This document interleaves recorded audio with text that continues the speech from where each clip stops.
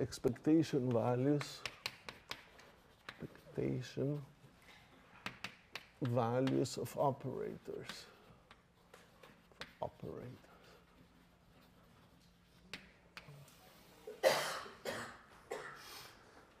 So this is, uh, in a sense, one of our first steps that we're going to take towards the interpretation of quantum mechanics. Uh, we've had already that the wave function tells you about probabilities, but that's not quite enough to have the full interpretation of what we're doing. So let's uh, think of operators and expectation values that we can motivate. So for example, if you have a random variable, variable q that can take values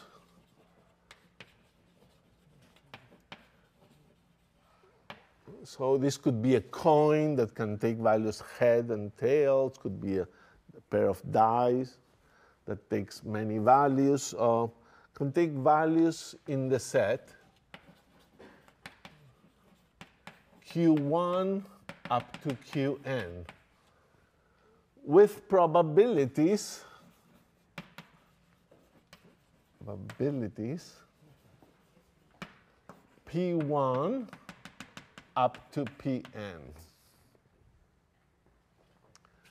Then in statistics or in 8044 uh, you would say that this variable, this random variable, has an expectation value, and the expectation value, denoted by this um, angular symbols over here, left and right, uh, it's given by the sum over i, i equal 1 to n, of the possible values, the random variable can take times the probabilities. It's a definition that makes sense, and it's thought to be this expectation value is the expected value or average value that you would obtain if you did the experiment of tossing the random variable many times. For each value of the random variable, you multiply by the probability, and that's the number you expect to get. So in a quantum system, we follow this analogy very closely. So what do we have in a quantum system? In a quantum system, system, you have that psi star of x and t now, psi of x and t the x is the probability, probability, that the particle, particle is in x comma x plus dx. Okay, so that's the probability that the particle is going to be found between x and x plus dx. The position of this particle is like a random variable. You never know where you're going to find it, but it has different probabilities to find it.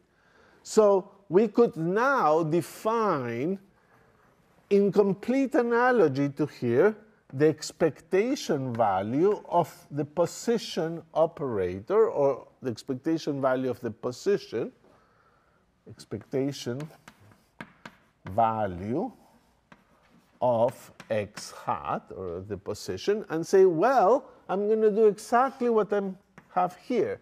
I will sum the products of the position times the probability for the position. So I have to do it as an integral. And in this integral, I have to multiply the position times the probability for the position. So the probability that it is takes a value x, basically, or that it's in the interval dx about x is this quantity, and that's the position that you get when you estimate this probability. So you must sum the values of the random variable times its probability. And that is taken in quantum mechanics to be a definition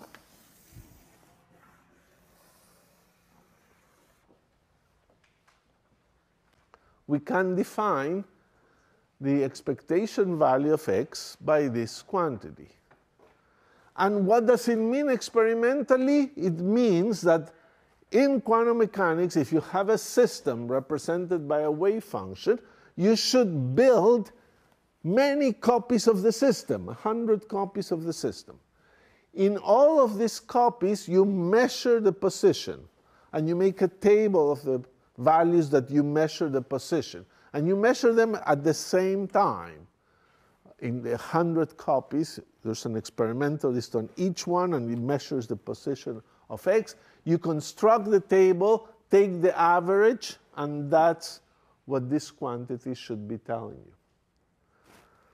So this quantity, as you can see, can, may depend on time. May depend on time.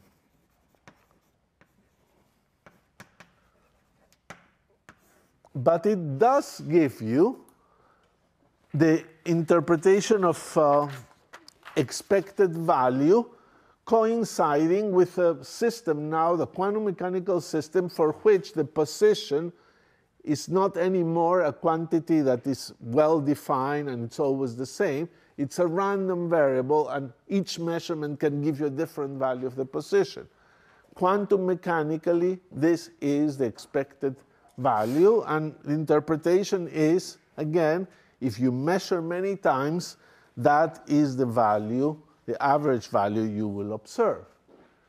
But now we can do the same thing to understand uh, expectation values. We can do it with the momentum, and this is a little more non-trivial.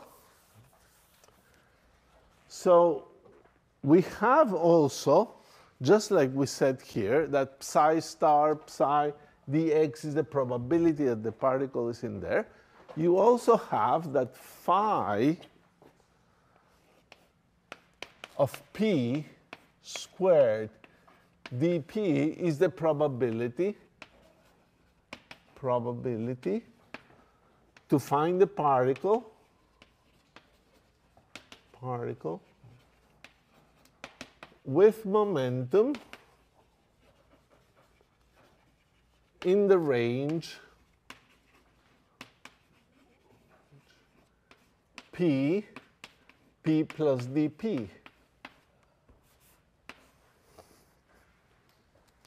So, um, how do we define the expected value of the momentum? The expected value of the momentum would be given by, again, the sum of the random variable, which is the momentum, times the probability that you get that value. So this is it. It's very analogous to this expression. But it's now with momentum.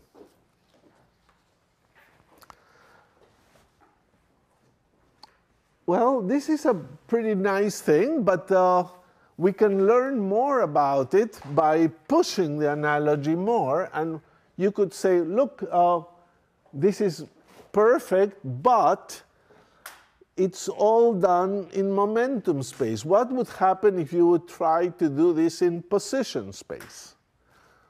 That is, you know how phi of p is related to psi of x. So write everything in terms of x. I would like to see this formula in terms of x. It would be a very good thing to have. So let's try to do that. So we have to do a little bit of work here with integrals. So, but it's not so bad. P phi star of p, phi of p, dp.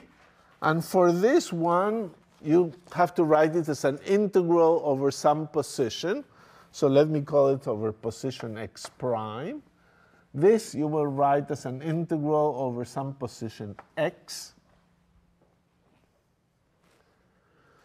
And then we're going to try to rewrite the whole thing in terms of um, coordinates, coordinate space. So what do we have here? We have integral p dp.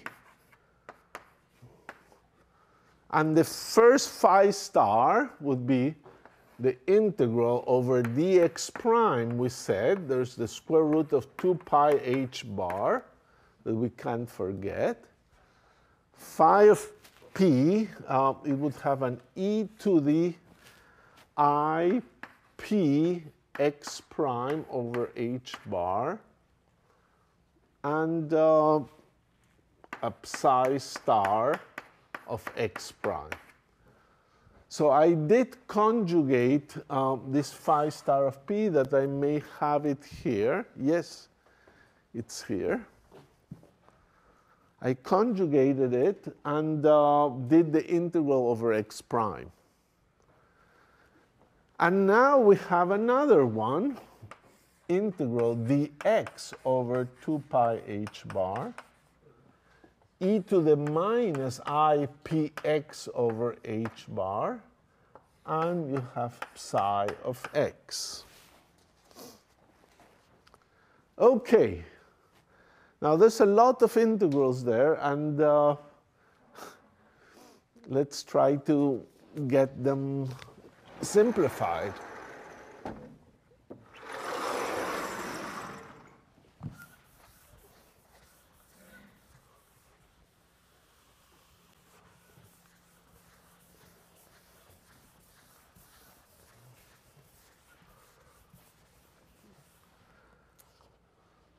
Okay, so uh, we're going to try to do first the p integral.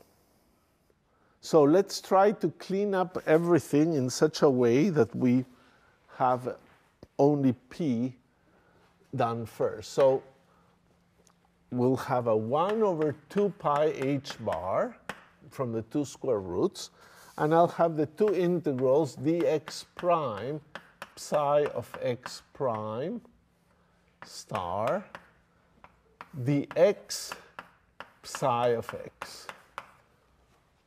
Okay? So look, uh, again, as we said, these integrals, we just wrote them out. They cannot be done. So our only hope is to simplify first the PDP integral.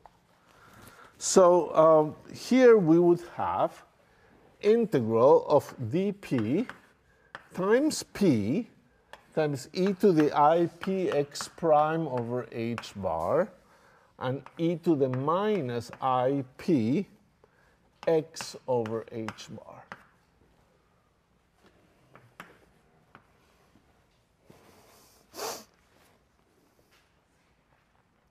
Okay, now we need a little bit of, probably, if you were doing this, um, would not be obvious what to do unless you have some intuition of what the momentum operator used to be.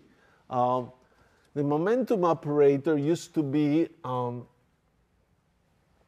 ddx, basically. Now, this integral would be a delta function if the p was not here. But here is the p.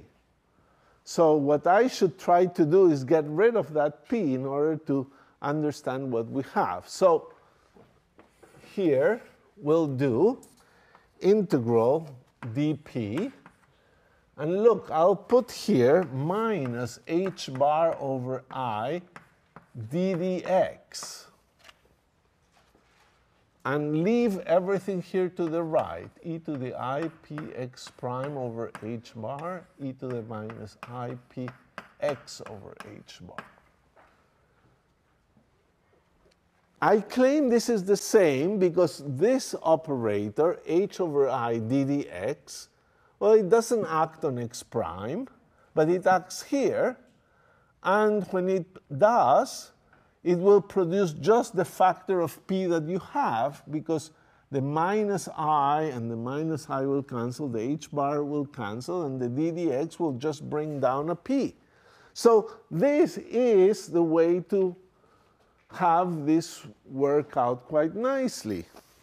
Now, all right, now this thing is inside the integral, but it could as well be outside the integral. It has nothing to do with dp. So I'll rewrite this again.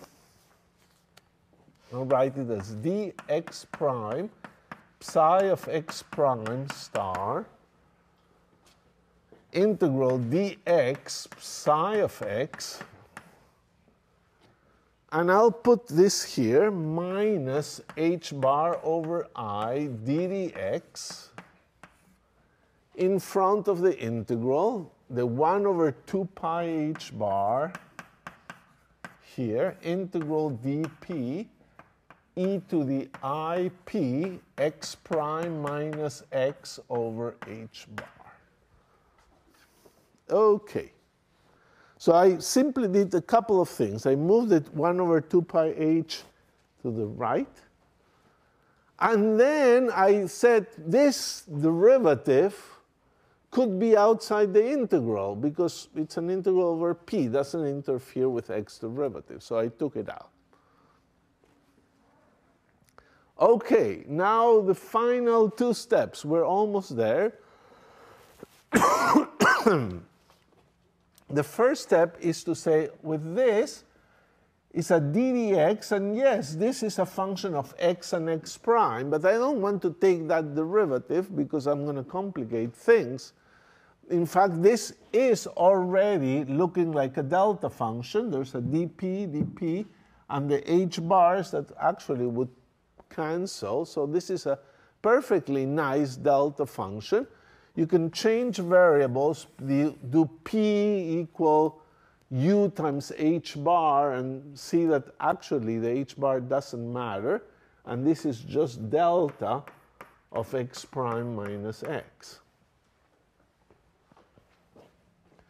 And in here, you will do, you could act on the delta function, but you could say, no, let me do integration by parts and act on this one integration by parts.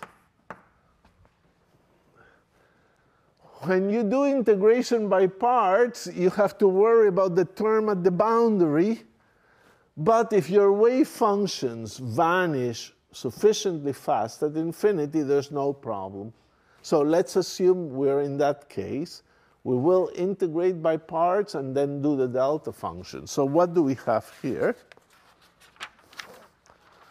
I have integral dx prime psi star of x prime integral dx and now I have because of the sign of integration by parts h over i of psi. And then we have the delta function of x minus x prime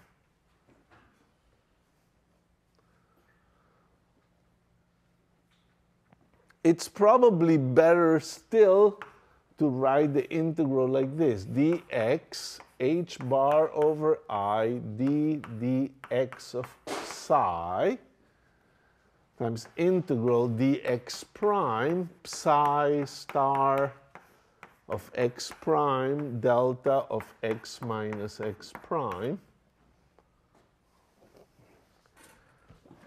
And we're almost done. So that's good. Um, we're almost done. We can do the integral over x prime, and it will evaluate that wave function at x. So, at the end of the day, what have we found? We found that p, expectation value of p, equal integral of p phi of p squared dp is equal to we do this integral. So we have integral dx. I'll write it two times, h over i d psi dx of x and t, and psi star of x and t. Um, I'm not sure I carried the times. I didn't put the time anywhere, so maybe I shouldn't put it here yet. This is what we did, and might as well write it in the standard order where the complex conjugate function appears first.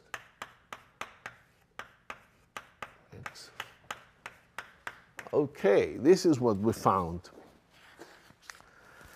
So, this is actually very neat.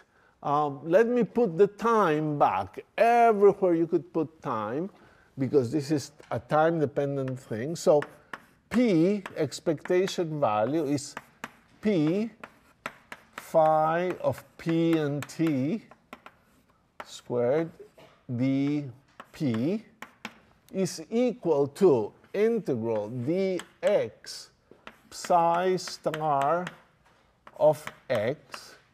And now we have, if you wish, p hat psi of x, where p hat is what we used to call the momentum operator.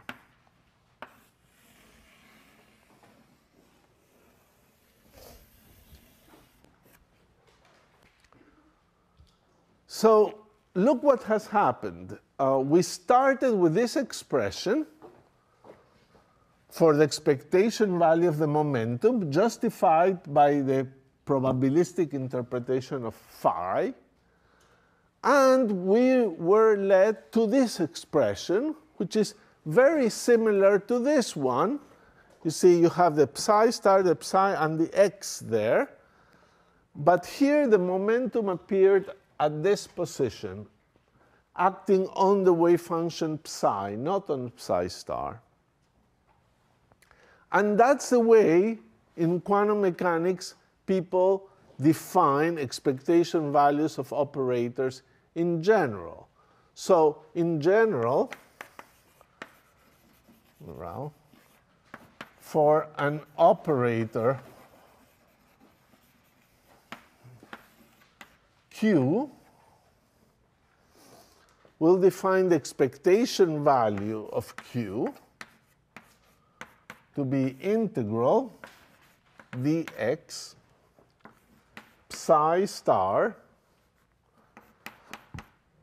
of x and t, q acting on psi of x and t.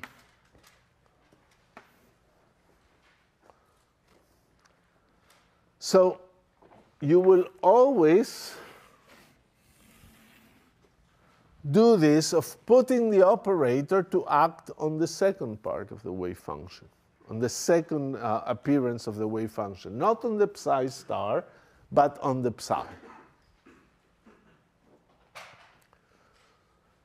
Um, we can do other ex examples of this, and uh, our final theorem um, that um, this is, of course, time dependent. Time dependent. So let me do one example and uh, our final uh, time dependence analysis of this quantity. So, 10 minutes.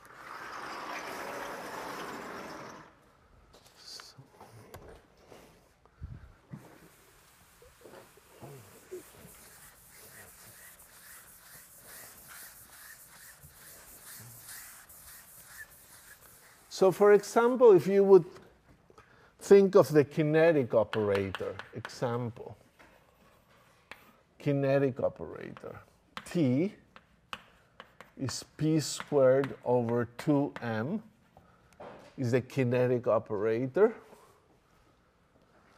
How would you compute its expectation value?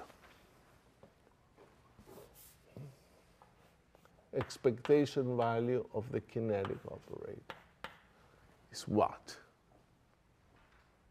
Well, I could do the position space calculation in which I think of the kinetic operator as an operator that acts in position space where the momentum is h bar over i d dx. So then I would have integral dx psi star of x and t, and then I would have minus h squared over 2m d second dx squared of psi of x and t.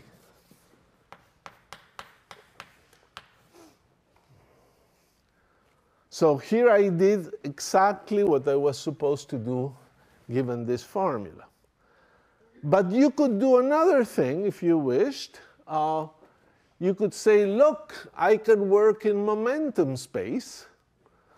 This is a momentum uh, operator, P, just like I defined the expectation value of P, I could have the expectation value of P squared. So the other possibility is that you have T is equal to the integral dp of p squared over 2m times phi of p squared.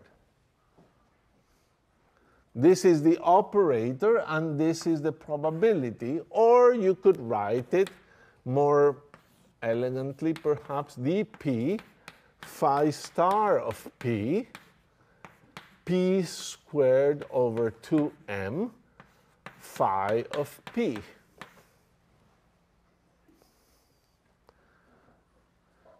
These are just integrals of numbers. All these are numbers already. So in momentum space, it's easier to find the expectation value of the kinetic operator. In coordinate space, you have to do this. Um, you might even say, look, um, this thing looks positive. Because it's p squared and the number squared and this integral. Here it looks negative. But uh, that's an illusion. This second derivative can be partially integrated. One of the two derivatives can be integrated to act on this one. So if you do a partial integration by parts, you would have integral dx h squared over 2m, and then you would have d psi dx squared by integration by parts. And that's clearly positive as well. So it's similar to this.